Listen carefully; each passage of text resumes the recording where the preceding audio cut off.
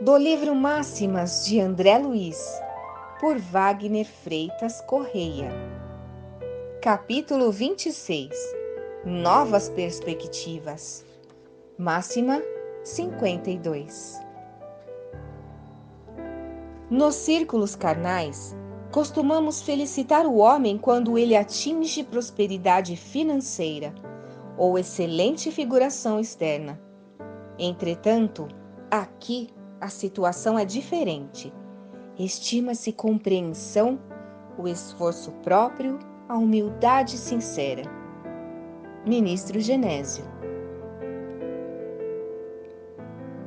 Com o estudo da doutrina espírita, nos conscientizamos que os principais e mais importantes valores que devemos alimentar e guardar são os subjetivos.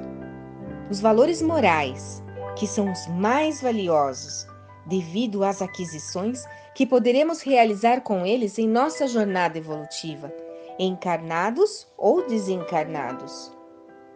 Humildade, bom caráter, amizade sincera, seriedade, responsabilidade, alegria sadia, prazer em servir, ajudar, paciência, respeito, amar em sua maior concepção.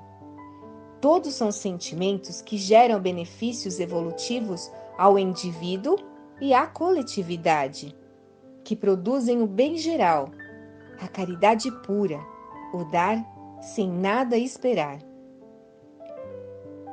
Esses fatores são os que mostram o real valor de um servidor espírita cristão, e não seus títulos suas posses ou sua aparência. Comecemos a acumular esta moeda corrente no coração e não mais esperar o amanhã para começarmos a viver para o bem. Esforcemo-nos ao máximo para vencer nossos instintos inferiores, como a raiva, a impaciência, o orgulho, o egoísmo, aprendendo a relevar os erros, nossos e do próximo, os ataques sofridos, as injustiças, o abandono e respeitemos cada um como ele é, com seus acertos e desacertos. Procuremos melhorar o ambiente em que vivemos, tanto o pessoal como o profissional.